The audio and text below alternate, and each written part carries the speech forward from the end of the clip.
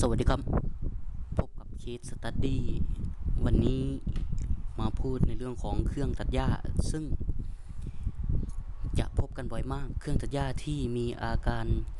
สตาร์ตติดเร่งง่ายสตาร์ตสตาร์ตติดง่ายเร่งได้ปกติ แต่พอเอาไปใช้งานจริงมันมีอาการวูบดับ ปัญหานี้พบกันบ่อยมาก ซึ่งจะขอยกตัวอย่าง สาเหตุที่เป็นไปได้ของอาการของปัญหามาให้ดู วันนี้เรามาดูกันว่า สาเหตุที่เป็นไปได้ของปัญหามันจะมีอะไรบ้าง ถ้าเราเจอปัญหานี้อันดับแรกเลยให้เราถอดอสิ่งที่แนะนำนะครับ สิ่งที่จะแนะนำต่อไปนี้ก็คือสำหรับเครื่องตัดหญ้าที่เป็นคาร์บูเรเตอร์แบบธรรมดา หรือเป็นคาร์บูเรเตอร์แบบลูกลอย ซึ่งคาร์บูเรเตอร์แบบลูกลอย เราจะมีวิธีการเช็คดังต่อไปนี้ วิธีการแนะนำจะเป็นการแนะนำสำหรับคาร์บูเรเตอร์แบบลูกลอยนะครับ อันดับแรกให้เราคลายน็อตนะครับ ใต้ถ้วยลูกลอยออกนะครับ มันจะมีน็อตหนึ่งตัวสำหรับเครื่องตัดหญ้า แล้วมันจะมีตัวบิด แต่ตัวนี้ถ้าของใครมันมีน็อตอุดแบบนี้เราก็หา สกรูหรือไขควงเนี่ยมาเปิดออก ให้เราเปิดออกปุ๊บหนึ่งเราจะสังเกตดูการไหลของน้ำมัน ถ้าน้ำมันมันไหลลง ไหลลง ไหลออกปุ๊บแล้วมันไหลออกไม่ตลอดไหลออกไม่สม่ำเสมอ ไหลออกไม่สม่ำเสมอ มันไหลออกมามากแล้ว แล้วมันค่อยๆแล้วมันค่อยๆไหลลงไหลลงแล้ว มันไม่ไหลเลย อาการนี้ถือว่ามันเป็นผิดปกติ มันผิดปกตินะครับ ปล่อยน้ำมันไหลออกน้ำมันไหลออกมาก หลังจากนั้นมันค่อยๆไหลจนจนกระทั่งมันไม่ไหลเลย ซึ่งปกติของมันมันจะต้องไหลออกเรื่อยๆ และจะต้องไหลแบบสม่ำเสมอ ถ้ามันไหลออกแล้วมันมันไหลค่อยมันไหลเบาลงเรื่อยๆ เนี่ย จนกระทั่งมันไม่ไหล แสดงว่ามันผิดปกตินะครับ พูดก็จะมีการผสมผสานด้วยนะครับ ภาษาอีสานภาษาไทยไปด้วย ถ้าหากมันไม่ไหล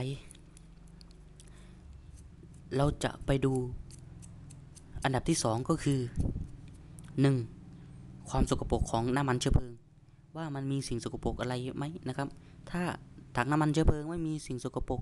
น้ำมันเชื้อเพลิงไหลออกจาก ท่อน้ำมันหรือไหลออกจากสายยางไหลออกดีปกติไหลออกแรงให้เรามาดูจุดนี้ จุดต่อมาให้เรามาดูจุดนี้นะครับ ก็คือก๊อกน้ำมัน เราถอดน็อตสองตัวออกนะครับ เดี๋ยวเราจะไปอย่างรวดเร็วเลยนะครับ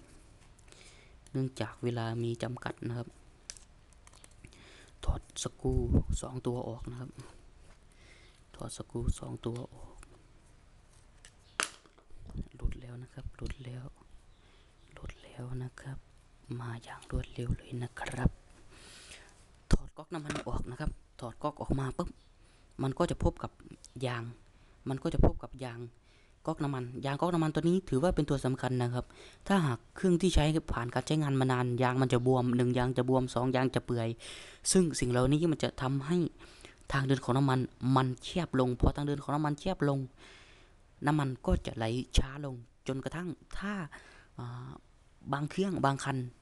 ใช้งานมานานเนี่ยยางมันเปื่อยไปอุดรูทางเดินของน้ำมันน้ำมันไม่ไหล หรือมันบวมแล้วมันทำให้ทางเดินของน้ำมันแคบน้ำมันไหลช้า นี่คือตัวสำคัญที่พบกันบ่อยแล้วแก้เจอกันทุกวันแก้กันทุกวันตัวนี้แหละนะครับ ยางก๊อกน้ำมันนะครับ ยางก๊อกน้ำมันนะครับนี่ฮะสำหรับเครื่องที่ผ่านการใช้งานมานานเจอบ่อยมากนะครับ แต่ถ้าเรา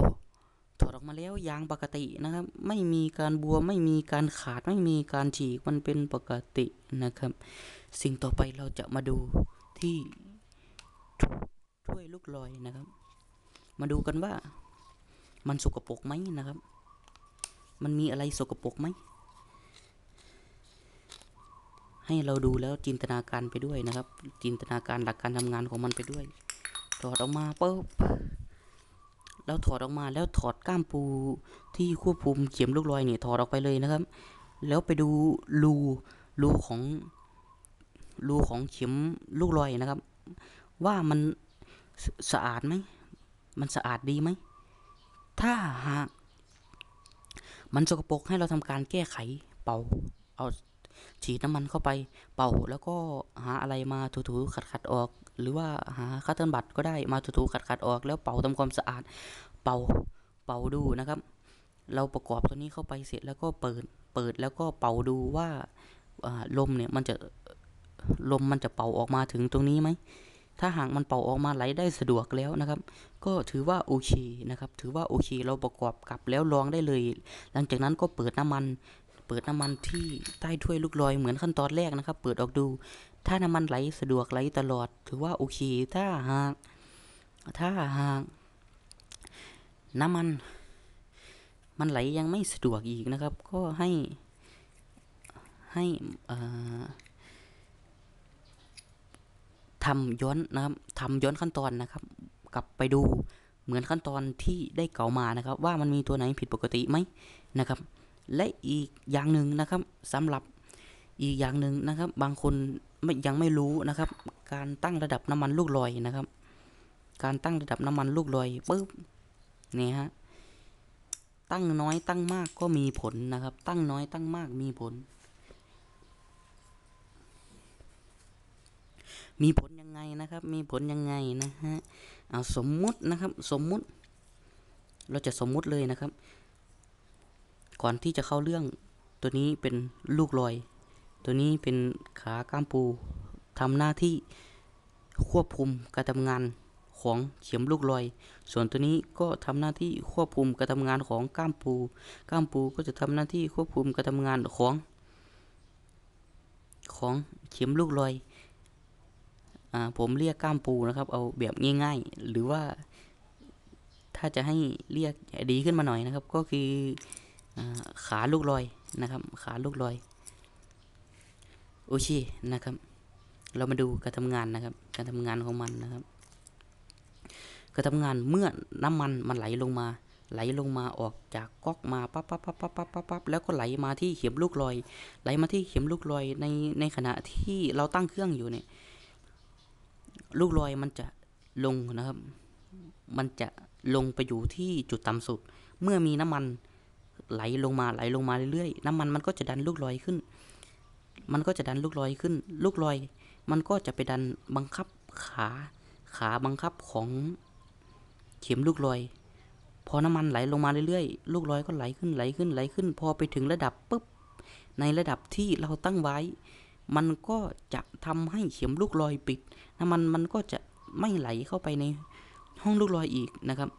ลูกลอยก็คือเอาง่าย ๆ ก็คือทำหน้าที่ควบคุมระดับน้ำมันในห้องลูกลอยนะครับ เพื่อให้ เหมาะสมนะครับเพื่อให้มีระดับน้ำมันที่เหมาะสมต่ำมากเกินไปไม่ดี สูงมากเกินไปไม่ดี หลักการทำงานของมันก็จะมีประมาณนี้นะครับ เมื่อเราใช้งานไปน้ำมันมันก็จะลดลงลดลง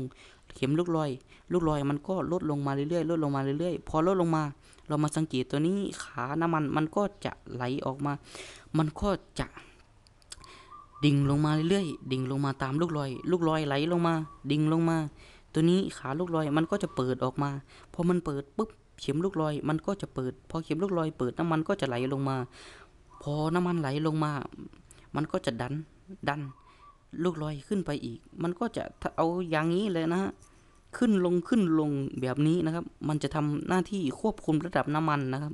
ไม่ให้ต่ำเกินไปไม่ให้สูงเกินไปนะครับ ถ้าน้ำมันมันต่ำ มันก็จะเปิดให้น้ำมันไหลเข้า ถ้าน้ำมันมันสูงถึงระดับที่เรากำหนด มันก็จะปิด ไม่ให้น้ำมันไหลเข้า ถ้าน้ำมันมันถูกใช้งานไปมันต่ำมันก็จะเปิดให้น้ำมันไหล เมื่อ เราใช้งานไปน้ำมันมันหมด น้ำมันมันต่ำลง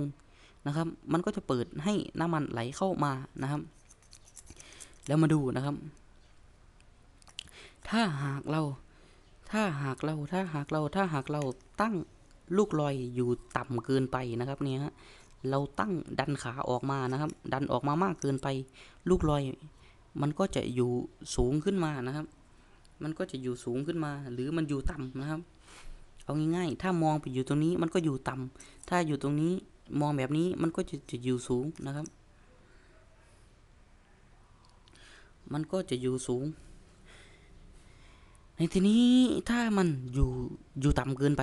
อยู่ต่ำเกินไป การเปิดปิดการควบคุมของน้ำมันเนี่ย มันก็จะน้อยนะครับ การควบคุมระดับน้ำมันในห้องลูกลอย มันก็จะน้อย น้ำมันจะอยู่ในห้องลูกลอยน้อย เนื่องจากที่ว่า